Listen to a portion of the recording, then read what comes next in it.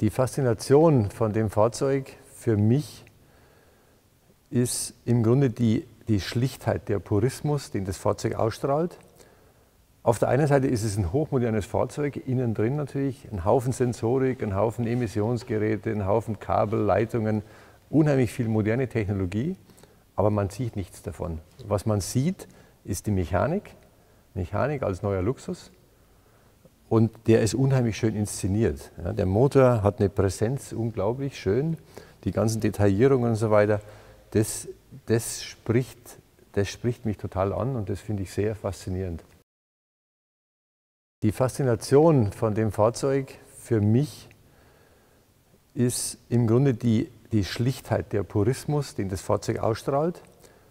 Auf der einen Seite ist es ein hochmodernes Fahrzeug, innen drin natürlich ein Haufen Sensorik, ein Haufen Emissionsgeräte, ein Haufen Kabel, Leitungen, unheimlich viel moderne Technologie, aber man sieht nichts davon. Was man sieht, ist die Mechanik, Mechanik als neuer Luxus und der ist unheimlich schön inszeniert. Ja, der Motor hat eine Präsenz, unglaublich schön, die ganzen Detaillierungen und so weiter, das, das, spricht, das spricht mich total an und das finde ich sehr faszinierend.